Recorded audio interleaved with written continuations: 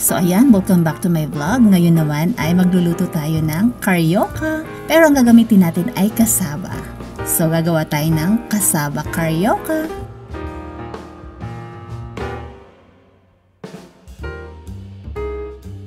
Okay, so meron ako dito isang kilo ng kasaba. So binalatan ko na po ito, nugasan ko, at kakayurin ko po ito.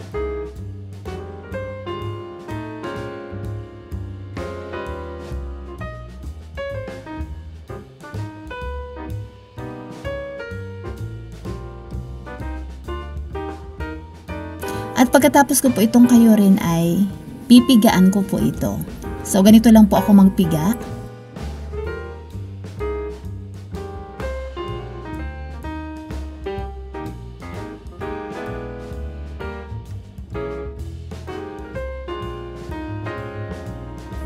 And then after ko po itong mapigaan, ay titimplahan ko po ito ng 1 half cup ng sugar.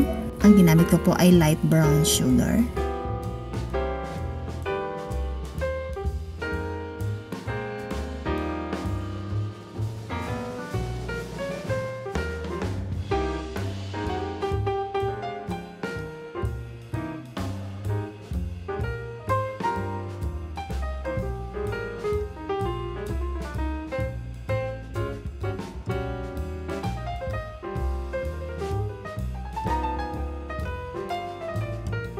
And then next step naman ay bibilugin po natin ito ng ganito.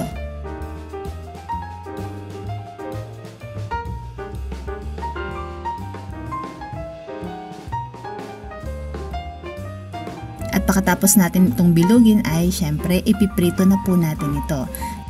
So gagamit ako dito ng barbecue sticks.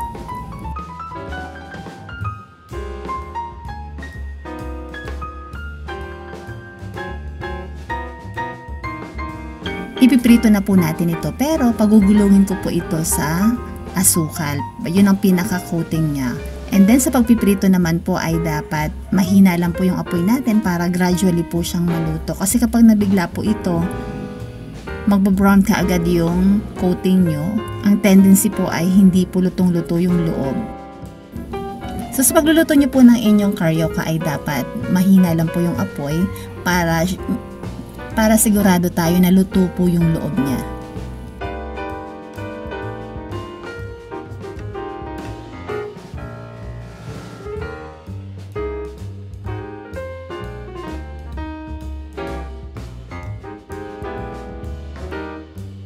So from time to time po ay babalik ta rin nyo po ito para pantay po yung pagkaluto. So kung gusto nyo po na medyo nagka-caramelize siya, okay lang po. Pero, natry ko na po kasi magluto nito na brown na brown siya. Tapos nung naluto ko na, eh medyo matigas po yung coating niya. So, mas okay po na medyo light po ang color niya para malambot po ang inyong karyoka. And then, next step naman ay tutuhugin na po natin ito. So, ayan, ganyan lang po kadali mga kasosyo.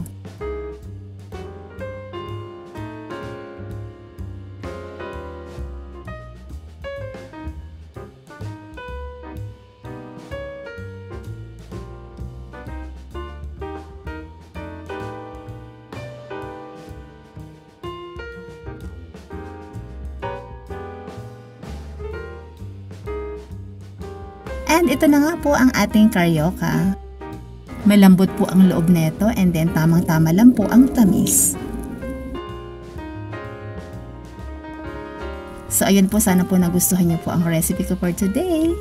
Thank you for watching. Bye!